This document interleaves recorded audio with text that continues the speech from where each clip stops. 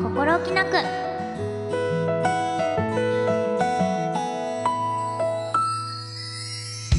皆さんこんばんは小原好みです。この番組は私小原好みがいろんなことを心置きなくおしゃべりしていく番組です。本日は7月の24日。ということで本日まで小原好み写真展無色無地が開催されておりました。ご来場いただいた皆さん本当にありがとうございました。ちょうど多分この時間は閉館をしている頃なんでしょうかね。あのまあそうだね。来週のココラジでは感想スペシャルも行いますので写真集尽くしの1ヶ月でした。まあ1ヶ月というか制作携わってから1年半ぐらい経つのでようやくここで幕を下ろすっていうことになり多分私含め携わったメンバーが「あおいちゃんだって多分なっている頃だと思います。なんか写真集出た時も嬉しいようでちょっと全ての工程が終わってしまったから寂しいね。でも写真展があるからっていうのが合言葉だったんですけどそれも多分終わっているっていうことなのただ収録のタイミング的にこんなしっとりした空気で言うのもなんですがまだ開催前なんですよこれ収録している時は。だから皆さんが訪れてどんな思いにこうなってくださったのかなんかこういろいろ感じてくださったのか非常にお話聞けるの楽しみにしているんですけれども。はいまたね今後もまあ写真はもちろんですしいろんな私の表現の形を皆さんにお届けできたら皆さんに楽しんでいただけたらいいなって嬉しいなって思っておりますので引き続きよろしくお願いいたします。台本だと1ヶ月経ちますが30代になって、まあ、30歳になってこう写真集の話がわーってなったからすごいいい素敵なスタートを切れたのかななんて思っております。はい。ということでそろそろ参りましょう。今回も私のおしゃべりを心置きなくお楽しみください。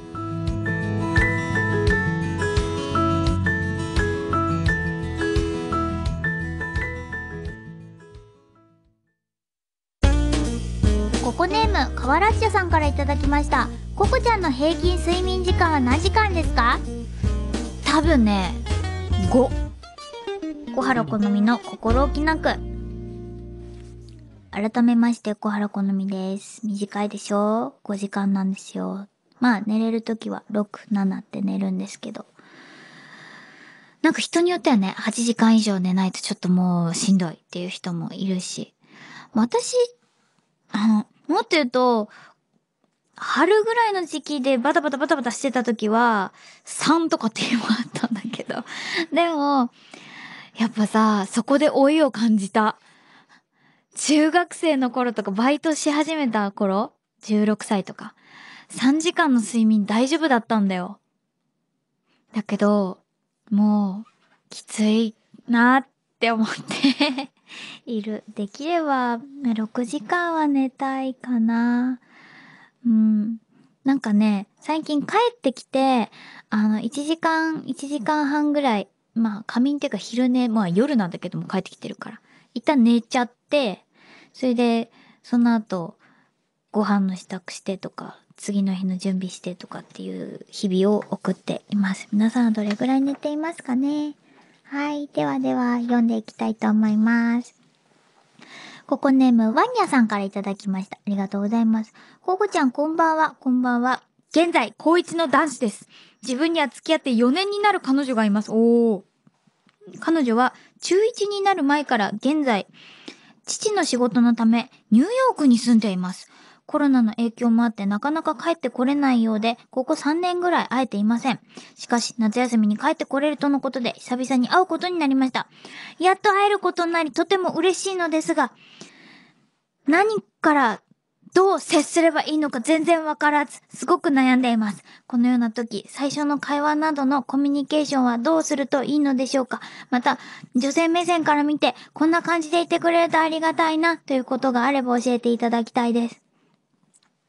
いや、ごめん、私そういう経験ないんだけど、長時間離れてとかって。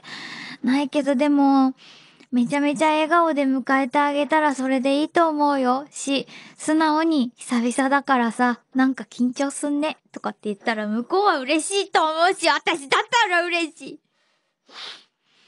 い。し、思いっきりハグしてあげればいいんじゃない？もうハグっていうことを絶対言おうと思って台本にハグって書いてたもん、私。ハグしたらいいと思う。ちょっとアメリカンスタイルすぎないって思うかもしんないけど、いいと思うよ。うん。なんか、あったかい気持ちで出迎えてあげて。絶対喜ぶと思うな。はい。ではでは続けていきます。この方はラジオネームないんですけれども読んでいきますね。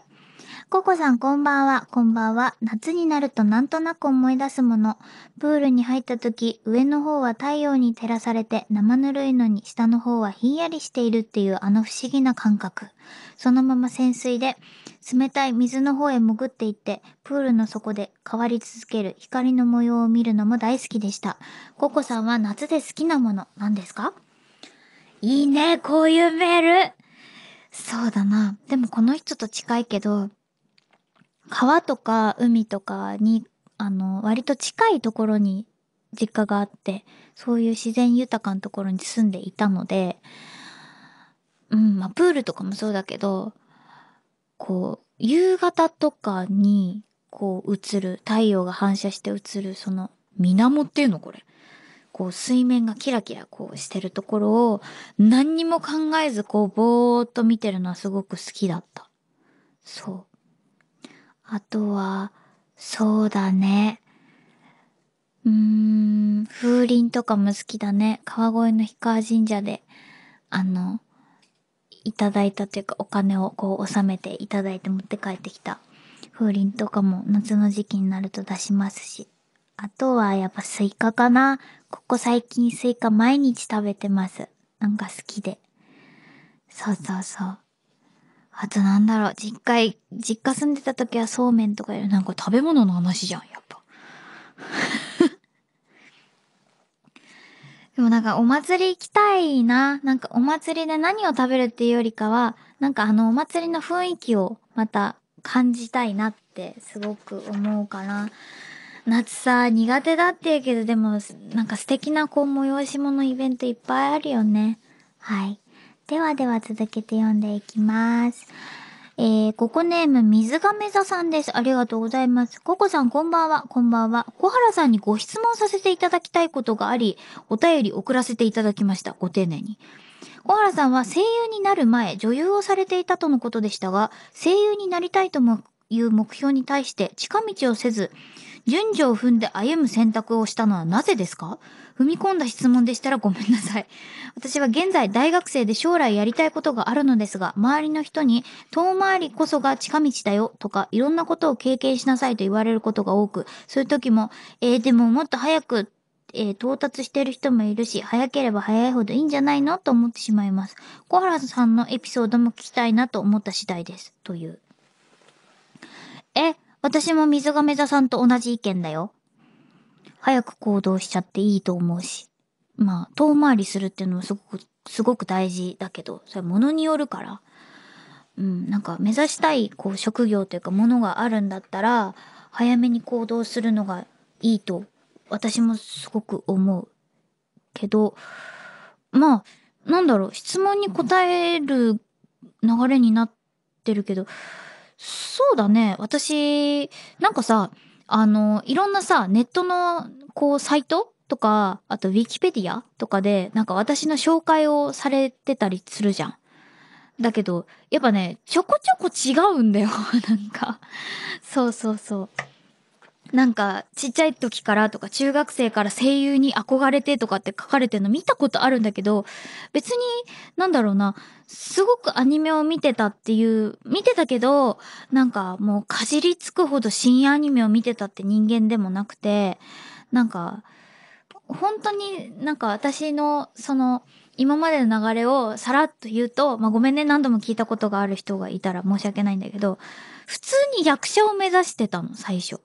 最初、小学校の時に、国語の教科書のスイミーを、あの、舞台でやりますってなって、学芸会で。で、そのスイミーを演じたのをきっかけにお芝居楽しいってなって、母親にお芝居したいって言って、なんか自分で物語書いて、クラスメートに声かけて、あの、演劇ごっこみたいなのをしてたら、担任の先生が、あ、なんかお芝居がしたいんだって言って応援してくれてたの。でもその時は声優さんとかそういうなんかお芝居とかよくわからなくて種類が。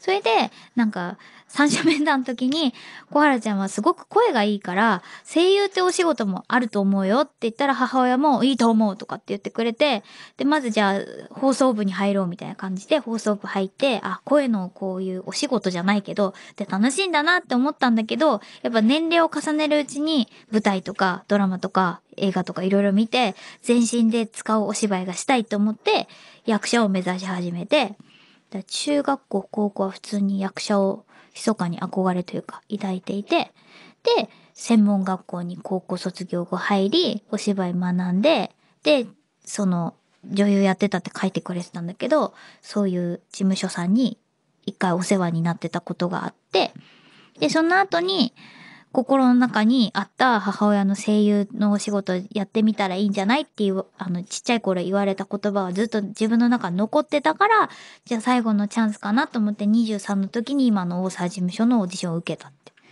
だからもう何の声優のこうお仕事のノウハウも学ばずに大沢事務所のオーディションバッて受けたみたいな。そういう変わった人です。そうそうそう。だから声優をやりたかったんだけど、仕方なく女優のルートを回ったとかじゃ全然なくて、そう、なんだったら私別に今も声優さんも女優さんも区別してない。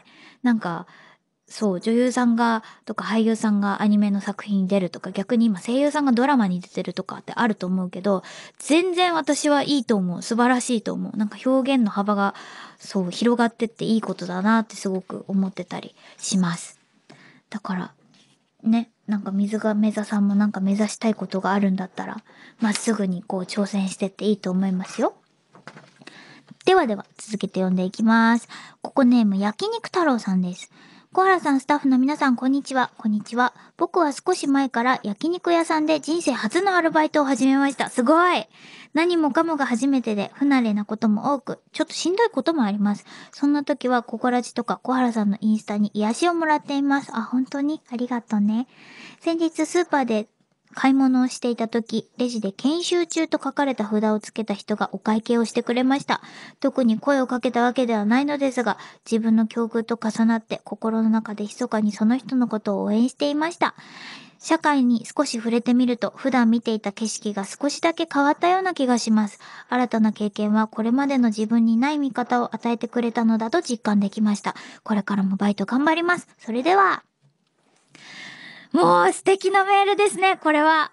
いや、と思って読みたいと思って選んだんですよ。いや、いいと思う。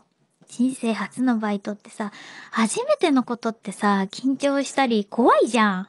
で、バイトだから覚えることもいいし、しかも焼肉屋さんだとね、より覚えること多いと思うから、なんか、一個一個のミスで凹んだりとかするんだけどね、でもみんなそういうのを経て慣れていってってなってるから、めげずに頑張ってほしいな。あとは、これすごくわかる。研修中って書かれた札を下げてる人。特にコンビニでも見かけるんだけど、あの、都内のあるあるだと思うんですけど、都内のコンビニって結構外国人の方があのレジをされていること多いんですよ。そう。普通に考えてさ、日本語って難しいと思うの。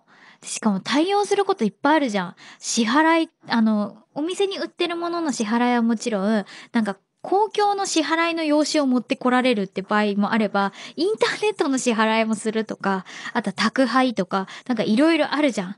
あとはなんかそのレジ前のフライヤーの売る、うんぬんとかさ。それを全部対応しなきゃいけないじゃん日本語で。もうさ、尊敬でしかないよ。他の国に来て、そうやって言葉を覚えて、ニコニコ接客しながらってもう本当に頑張れっていつも思ってる。だから、近所のレジ、近所のコンビニのそのレジの人も外国人なんだけど、なんか多分その人私の顔覚えたんだろうね。なんかちょっと、慣れてきた。でもちょっとだけ片言な日本語で、いつもありがとうございますって言われたから頑張ってねって言って会話をしたんですけど、最近。もうマジでそういう人を見ると応援したくなります。はい。みんな人に優しくなろうね。ではでは続けて読んでいきます。ここネームタンポポさんです。ありがとう。ココちゃん、ここにちは、ここにちは。朗読劇、アルセーヌ・ルパンのビジュアルが公開されましたね。はい。大人っぽいブルーのドレスを身にまとい、お団子ヘアのココちゃん・ルバッスールに思わずキュンとしました。ココちゃんにとって初めての朗読劇出演。この舞台が私にとって初めての朗読劇鑑賞になる事実が嬉しくてたまりません。マジかこの日のために東京に行こうと誘ってくれた友達と彼氏の温かさのおかげから関西からはるばると初めて生ココちゃんを見ることができます。初めてがたくさんで胸が高鳴っています。今から待ちきれません。練習を応援しています。大好きです。ありがとう。私も大好きです。そっか。そうなんです。先日ビジュアルが公開されまして。いや、もうドキドキです。そうそうたる方々の中に私も入ることができて、入れているんだろうか。いや、まあ、並んでるから入ってんだけど、そんな気持ちなんですよ。今実際。で、まあ、稽古も、もうそろそろ始まるっていう、今タイミングで撮っているんですけど、このラジオ。おあの、出演される方々、ほとんどの方はみんな、いや、全員かな？面識があるので、で、最近だと、あの、木村良平さんは、あの、過去の犬付けで、あと、私が演じているキャラクターのパパでもあるので、なんか、すごく良くしてくださって、大丈夫だよ、緊張しない、楽しもうとかって言ってくださってるんですけど、ねえ、どうなることやら、あの、頑張りますので、あの、楽しみにしていてください。この他にもね、あの、楽しみにしてるよって方、あの、インスタの方でメッセージくださったりしました。本当にありがとうございます。で、朗読劇は8月の6日と8月の7日に行われるんですけど、私が出演するのは6日のみとなっております。7日は、花沢香菜さんが出演されておりますので、2日間行くよって人は多分、違いを楽しんでもらえるんでしょうか？た楽しんでもらえるぐらいクオリティを高められるよう頑張ります。はい。よろしくお願いします。はい。ということで、ふつおたはここまでとさせていただきます。ここからはこちらのコーナーをお届けします。ここで解決お悩み相談室こちらはリスナーの皆さんからのお悩みに私が自分なりにお答えしていくコーナーです。では、読んでいきます。ココネームシルバーさんからいただきました。このみさんこんばんは。こんばんは。私の悩みは声が張れないことです。自分に自信がないと遠くまで声が行き届きません。声優さんといえば声のみで圧倒する素晴らしいお仕事だと思います。どうすれば声を遠くまで響かせることができるのでしょうかぜひ教えてください。ありがとうございます。これさ、いや、私もすごくわかるんだけど、なんだろ。うーん、声優だからといって、みんながみんなじゃあ最初から声が腫れたかっていうと、実はそういうわけじゃないんですよ。もちろん、あの、よく聞かれるその滑舌がいいのは、そのどういう滑舌の練習をしてるんですかって聞かれることもあるけど、あの、まあ、日々のその練習とかもあるとは思うの。技術的な面でね。ただ、声を張る、張れないっていうのは、あの、気持ちの問題も結構大きくて、あの、私たちもそうだけど、やっぱ離れしていくことで、声の出し方っていうのを覚えてたりするんですよ。で、やっぱり離れするってことは、イコール人の前で、あの、お芝居、声を張ってるわけだから、人の前でも声が張れるように、こう、どんどんどんどん訓練じゃないけど、毎回ちゃんとしたお仕事だから。なんかそういう離れしていくことで、徐々に徐々に声を出せるようになったりとか、はたまた違う出し方をできるようになったりとかってできるようになるのね。そう。だから、あの、声張れないなって悩むこともあるとは思うんだけど、あの、なんだろうな、そんなに焦らずに取り組んでほしい。もし、あの、今後晴れるようになりたいっていうことだったら。あと、まあ、声を遠くまで響かせることができる。私がやった実践したやつは、え、何それって思われるかもしんないけど、私カラオケが苦手なんですよ。キャラソンはできるんですけど、こんなにキャラソンを歌ってきた人間が、じゃあ友達とカラオケ行ったらノリノリで歌えるかっていうと、声出なくなっちゃうんですよ。そう。恥ずかしくて。でも、仕事で収録の時は声出してんのに。不思議でしょ？そう。だそれでみんなの前でも、ウェーイって歌えるようになりたくて、あの、一人でまあ一人で歌うのと友達で歌うのとは全然違うけど、一人でも堂々と声出せるぐらいのところまでできるようになろうと思って一時練習してた。そう。うん。とか、あと、ちょっと話変わっちゃうけど、最近だと、アベマさんで、かぐやさんって番組で、5人でカラオケルームにいてめっちゃ歌うみたいなくだりあったと思うんだけど、あれも仕事だから私できたんだけど、でもちゃんと歌えるだろうかって思って、あの、レコーディングと違うから。あれ実はね、ちょっとカラオケに行って一人で声が出せるようにって練習してたんですよね。ちょこっと。そう。だからそんなに、あの、私も一緒なので、あの、ゆっくりこう一人でできる練習をしたらいいと思いますよ。うん。ではでは続けて、ここネームにちうらさんです。ココちゃんこんにちは。こんにちは。私は大学生で学生生活を送っているのですが、コロナも落ち着いてきて、付き合いで飲みに行く機会が少しだけ増えました。ここで悩みなのですが、私はお酒が強くないのです。もちろん優しい方々と飲むときは自分のペースでとおっしゃってくれるのですが、人によっては飲まされたりしてしまいます。ですが、その人たちとも仲が良く縁は切りたくないのです。人間関係という難しい相談ですが、何かアドバイスいただけると嬉しいです。なるほどね。まあでも、昔ほどなんか飲め飲めっていう機会は減ってきたと思うんだけど、学生でも社会に出ても。うん、これは悩んじゃうよね。いや、もうなんか、私は、弱くもないし強くもないんだと思う、多分。両親は強いんですけど。で、ただ飲む機会、まあ最近はないけど、やっぱりこういうお仕事もあって飲む機会あったりしたから、その時はもうお酒と飲あの、お水を同時に頼んでた。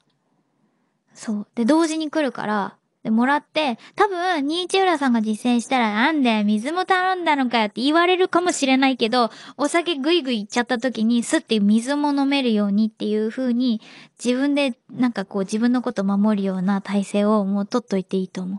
そこまでそんな強要してくるのかな？うーん。なんかいろいろ方法はあると思う。私はそうしてる。まあ私の場合周りからそんな飲め飲めって人はいないんだけど。そうそうそうそう。ね、その時間ちゃんと覚えておきたいし、なんか飲んで具合悪くなっちゃったらね、もったいないしね。だからそういう風に私はしているけど、ニーチ浦さんに合っているかどうか。よかったらちょっと実践してみてください。はい。ではでは続けて、えー、ここネーム岡部さんです。ココちゃんこんばんは、こんばんは。割とガチで悩み事あるのでメールします。としたの？私は口下手でうまく、えー、手を使って会話ができなくて困っています。会話するときは手を使ったり、ジェスチャーしたりするのがいいと言われていますが、それがなかなかできません。ココちゃんは人と会話するときはどういった感じで会話していますか？参考にしたいんでお願いします。もうね、なんかさ、周りからコミュニケーションができる人とかって言われてるけど、別に私最初からそういうわけだったわけじゃなくて、人と話すとき緊張してしょうがない時期とかもあったんですよ。学生の時特に。そう。だから、私も喋るときこう固まって喋っちゃってたのね。信じられないって思う人いっぱいいるかもしれないんだけど。そう、そしたら当時中学校の先生かなすごく好きだった先生が、あの、できないからこそ手を使ったりとか身振り手振りで喋ると自分の中でなんかこれを伝えようって思っても、じゃあいざ口に出して伝えるってなった時にうまくこう伝えられないってこう、これ、多分共感してくれてる人いると思うんだけど、聞いてる中の人で。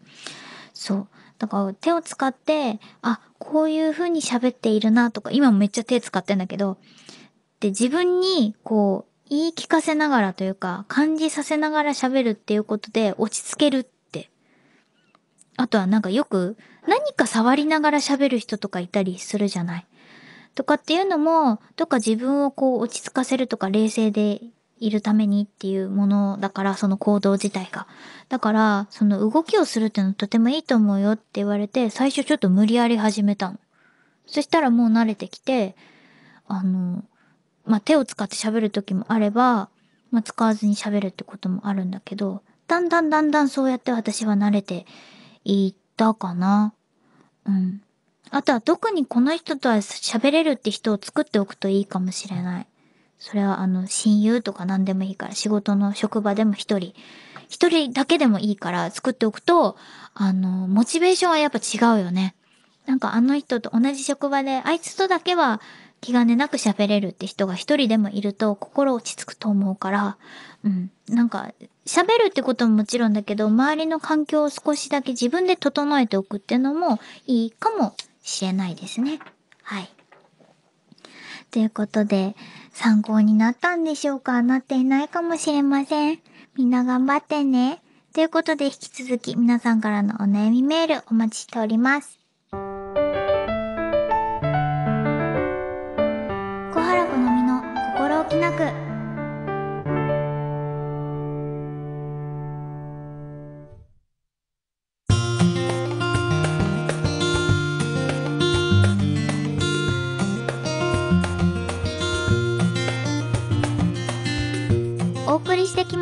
小原好みの心置きなくお別れの時間が来てしまいました。この番組では皆さんからのメッセージをお待ちしております。宛先はおはがきの場合郵便番号105-8000に文化放送小原好みの心置きなくまで。メールの場合はココラジアットマーク JOQR.net ココラジアットマーク JOQR.net です。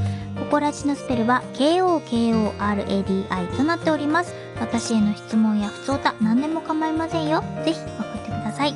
そしてメールを送る際は郵便番号、住所、本名忘れずにお願いいたします。今回のステッカーなんですけれども、ココネーム焼肉太郎さんにお送りしたいと思います。焼肉太郎さんもバイト頑張ってるってことで、応援の気持ちを込めて丸いステッカーを送らせていただきます。はい。ということで、えー、あ、そして、来週の7月31日放送のココラジで、ファースト写真集無色無地の感想文特別企画を行います。締め切りは本日の23時59分までとなっております。こちらあれだよね。あの、題名のところにちゃんと無色無地感想文っていう風につけて送ってください。よろしくお願いします。そしてさらに現在 A&G ショップにてココラジグッズ第5弾アクリルキーホルダーエコバッググラスのココラジスペシャルセットが発売中となっております。はいでは私からのお知らせです。III アイスクリーンダブルにてストッチーを演じております。そしてようこそ実力至上主義の教室へセカンドシーズンでは立花茜を演じております。そしてワッチャプリマジではパタノを演じてます。そしてそして、カッコーの言い名付けでは、なぎの妹海の幸を演じております。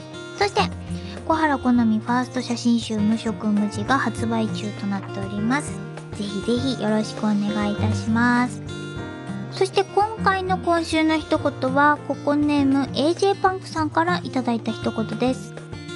深夜、突然彼女からの電話。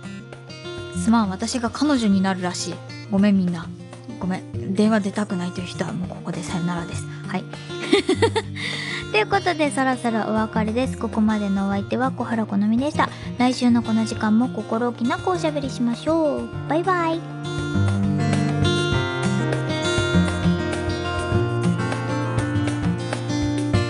もしもし？